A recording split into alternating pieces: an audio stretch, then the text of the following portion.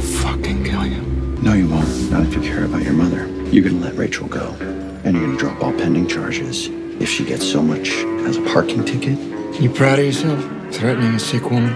not for a second.